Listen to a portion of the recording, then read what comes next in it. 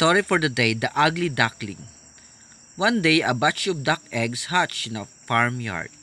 Strangely, one chick was much bigger and uglier than the rest. The poor duckling was picked and pushed about by all the other ducks. And the chickens too. He's too big and so ugly, they clucked. The duckling was very sad, so he ran away. He spent all winter alone and slowly grew up but no one spoke to him.